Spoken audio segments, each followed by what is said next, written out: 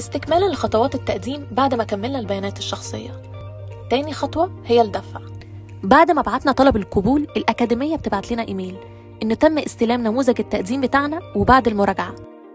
ده رقم التقديم وده رقم التسجيل اللي هيكون معانا طول سنين الكلية.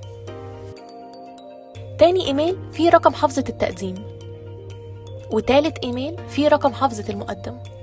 بندخل على الموقع www.ast.edu بنختار Online Admission.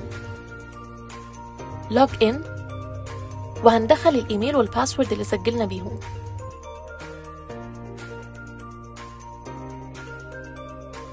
وهنا عشان نسدد الحوافز عندنا طريقتين. أول واحدة يا نطبع الحوافز من هنا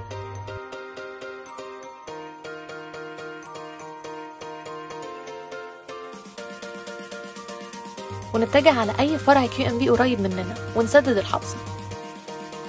تاني طريقة ندفع أونلاين أولا هنختار payments أو المدفوعات بعدين هندوس على ادفع الآن.